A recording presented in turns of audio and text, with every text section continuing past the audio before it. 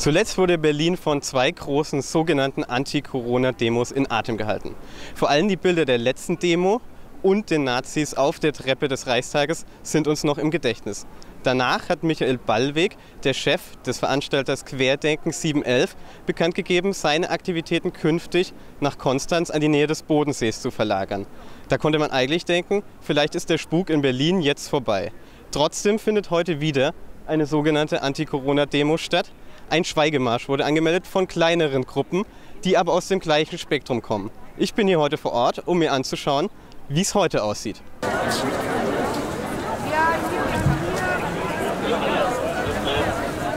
Ich bitte mal um, um eure Aufmerksamkeit. Wir wollen jetzt den Demonstrationszug starten. Bitte achtet alle auf eure Abstände, ganz rigoros. Bleibt in den Reihen und wir möchten, dass alle einen Mundschutz tragen. Es geht einfach mal darum, dass wir hier eine Demonstration durchführen. Und wir wollen das demonstrieren, dass wir das auch mit Maulkorb können. Also haltet bitte die Abstände ein. Rigoros.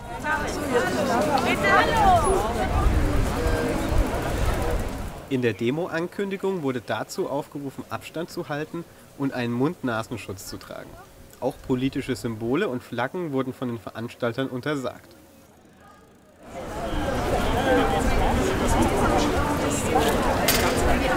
So, ist jetzt kurz nach zwölf. Der Schweigemarsch hat begonnen. Wir laufen gerade den Kurfürstendamm entlang. Bisher wirkt hier alles sehr ruhig, gut organisiert. Die meisten Leute tragen tatsächlich Masken und auch an Abstand wird sich bisher gut gehalten. Und auch Symboliken wie Reichskriegsflaggen haben wir bisher noch keine entdecken können.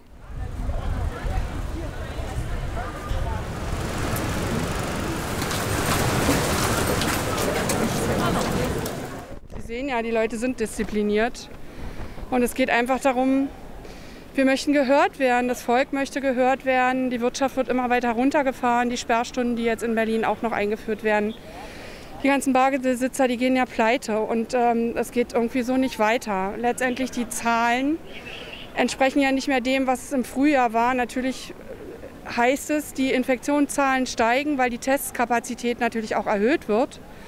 Aber wenn man sich gleichzeitig dazu die äh, Todesfallraten und die wirklich schwer Erkrankten anschaut, dann ist die Relation einfach nicht gegeben. Und ich finde, es muss einfach nochmal überdacht werden, das ganze Konzept. Und sicherlich muss man gefährdete alte Leute, Leute mit Immunerkrankungen, muss man schützen, das ist ganz klar.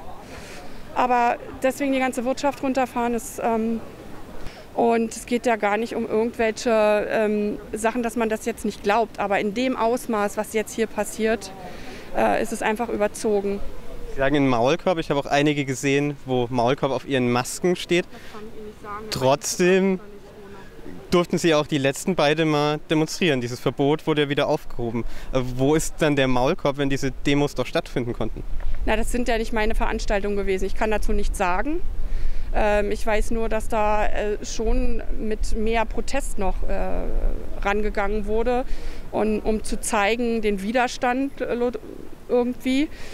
Aber das ist nicht äh, meine Sache gewesen, sondern wir haben gesagt, okay, wenn wir in keinster Weise mehr irgendwie demonstrieren dürfen und unsere Meinung äußern dürfen, dann sind wir halt still, sagen nichts mehr, aber trotzdem wollen wir gehört und gesehen werden. Wir sind ja trotzdem da, auch wenn wir letztendlich nichts sagen sollen. Ja, aber es sind halt immer mehr Leute auch gegen diese ganzen Corona-Maßnahmen, weil sie finanziell einfach in den Ruin getrieben werden. Sie haben in Ihrem Aufruf extra auch festgehalten, dass auf politische Symbole oder Fahnen oder sonst heute verzichtet werden soll. Wie sehen Sie das, die Versuche von Ihnen, sich von solchen Strömungen zu distanzieren? Also mir geht es erstmal darum, ich, ich als Mensch distanziere mich jetzt erstmal, äh, sage ich mal, von jemandem, der radikal ist, der brutal ist. Davon distanziere ich mich. Aber in einer Demokratie sollten alle Stimmen gehört werden, aber sicherlich kein Extremismus, das ist ganz klar. Und dazu stehe ich auch. Und ich stehe heute als Mensch auf der Straße.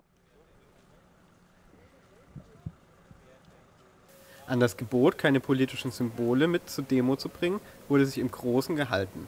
Unter den Teilnehmern waren aber auch politisch eindeutige Personen, wie der antisemitische Verschwörungstheoretiker Attila Hildmann. Der ließ es sich nicht nehmen, seine ganz eigene verquere Meinung zur aktuellen Lage kundzutun. Wo unsere Bundeskanzlerin eine Ex-FDJ-Sekretärin für Propaganda und Agitation in der DDR war und ein Ex-Stasi-Spitzel. Und die Antifa ist nichts weiteres als rote Staatssöldner. Die Grippeimpfung enthält ein Coronavirus namens H1N1. Und wenn Sie dieses Coronavirus dann über die Grippeimpfung im Körper haben, werden Sie als Corona-positiv automatisch gezählt. Damit treibt das BRD-Pack automatisch die Zahlen hoch und dann rufen Sie den zweiten Lockdown aus. Das ist ein finaler Lockdown. Jeder soll wissen, die NWO ist eine kommunistische Machtergreifung. Man muss nur nach China gucken. Dieses System, dieses Folter- und totalitäre System soll in Deutschland etabliert werden und wir müssen gemeinsam als Volk aufstehen. Es ist kein Kampf zwischen rechts und links, es ist ein Kampf zwischen oben und unten. Und oben hat unten dem bezahlenden Volk den Krieg erklärt und wir werden uns wehren. Die Demo hier hat dazu aufgerufen, dass man sich mit politischen Äußerungen zurückhalten soll. Es soll nur um Corona gehen. Sie gelten ja aber auch als sehr radikale und spaltende Figur. Haben Sie nicht vielleicht auch den Eindruck, dass Sie als Person dann den eher gemäßigteren berechtigeren Skeptikern hier auch schaden können? Also ähm, ich äh, sage seit sechs Monaten die Wahrheit und äh, dadurch, dass man in 75 Jahren dafür gesorgt hat, dass in Deutschland die Lüge vorherrscht, ist derjenige, der die Wahrheit sagt, gleich polarisierend. Das haben wir am Wendler gesehen. Der sagt einfach nur, dass Merkel Verfassungsbruch macht und dass die Medien lügen und gleich ist er ein rechter, kruder Verschwörungstheoretiker. Also nochmal, diese Keulen braucht keiner mehr hier mehr ziehen. Das haben wir jetzt 75 Jahre lang durch und es reicht ein für alle Male. Auch andere bekannte Szenegrößen waren auf der Demo vertreten. So zum Beispiel der rechte Blogger Martin Leune oder der sich selbst der Volkslehrer nennende Rechtsextreme Nikolai Nerling. Wir haben jetzt halb zwei Uhr. Wir sind jetzt hier direkt am großen Stern und auch der Schweigemarsch kommt langsam an. Bisher war während der Demo die Lage ruhig. Die meisten Leute haben sich an die Abstände und die Maskenregeln gehalten und sind auch recht vernünftig geblieben. Es gab auch keine offensichtlichen politischen Zeichen wie Reichskriegsflaggen zu sehen. Es waren aber doch auch Szenegrößen der rechtsextremen Szene da oder Verschwörungstheoretiker wie Attila Hildmann. Mit deren Anwesenheit hatten die meisten Demonstranten aber auch keine Probleme.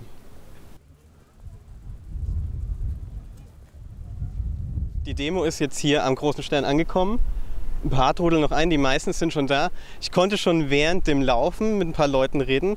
Die meisten sind uns recht skeptisch begegnet, aggressiv war aber niemand. Und jetzt, wo sich hier langsam alle hingesetzt haben, nutzen wir die Gelegenheit, mal genauer nachzufragen, warum die Leute heute eigentlich hierher gekommen sind. Warum sind Sie heute hier auf diesem Schweigemarsch? Äh, weil wir für die Absicherung dieses Marsches sorgen, damit, wenn irgendwas passiert, Polizeigewalt, Antifa, Erste Hilfe vor Ort ist. Das ist unsere Aufgabe. Deshalb sind wir da. Oder erreichen die offiziellen Polizisten und Mediziner nicht? Haben Sie irgendwelche gesehen? Haben Sie einen Rettungswagen hier im, am Zug gesehen, wie sie sonst überall sind? Schauen Sie. Ein, zwei habe ich gesehen beim Vorbei. Ja, die standen aber vor, vor äh, den äh, Gebäuden und hatten mit uns nichts zu tun. Ich habe keine gesehen innerhalb des Zuges. Und wir müssen innerhalb des Zuges, wenn wir eingekesselt werden, sicherstellen, dass dafür gesorgt wird, dass Erste Hilfe da ist. Deshalb haben wir krass dafür ausgerüstet. Was haben Sie alles dabei, um alles, was notwendig ist und legal erwerbbar ist. Das Einzige, was wir nicht haben, ist gegen Schusswunden und äh, schwere Brandwunden wie beim Napalm. Die Antifa gibt inzwischen Anleitungen aus, in Molotow-Cocktails Styropor zu tun, dann wirkt es wie Napalm. Bis jetzt ist hier alles ruhig. Es habe noch keine Gegendemo gesehen. Erwarten Sie denn, dass da heute was passiert? Ich hoffe, dass nichts passiert. Ich hoffe, dass es friedlich bleibt. Ich bin mal froh, wenn ich mit dem selbst schweren Rucksack zurückkomme, wie ich gekommen bin. Das ist das, worum es geht. Mit den Leuten zu sprechen stellt sich dann aber als schwieriger raus als gedacht. Abseits der Kamera wird hin und wieder mit uns diskutiert. Sobald wir filmen wollen, bekommen wir aber immer keine Antwort. Dann gibt es plötzlich Aufruhr. Am Rande des großen Stern wird Attila Hildmann von der Polizei abgeführt. Seine Anhänger protestieren gegen die Polizei.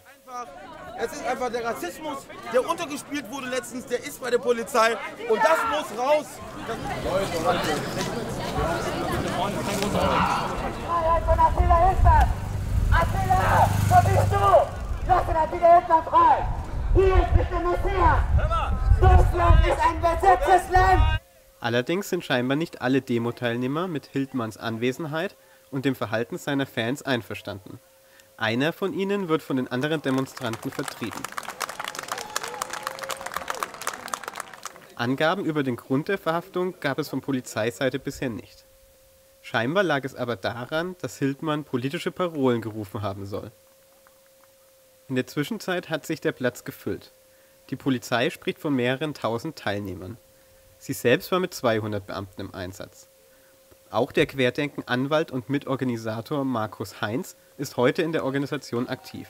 Und der beschließt, der Demozug soll stoppen, da der Platz nicht weiter gefüllt werden kann. Somit bleibt dann zum Ende des Marsch nur noch eine Schweigeminute, bevor die Veranstaltung beendet wird.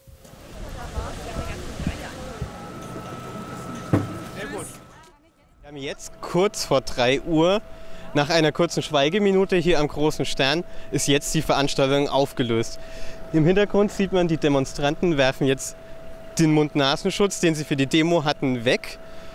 In der Ganzheit, was wir beobachtet haben, ist es in der ganzen Veranstaltung bis auf die Verhaftung von Attila Hildmann ruhig geblieben. Und Gesamtbewertung muss man sagen, es ist egal, ob man die Meinung dieser Menschen hier gut findet oder nicht, wenn sie zumindest auf dieser friedlichen Art vorgetragen wird, muss das in Deutschland auch bei Demonstrationen so möglich sein.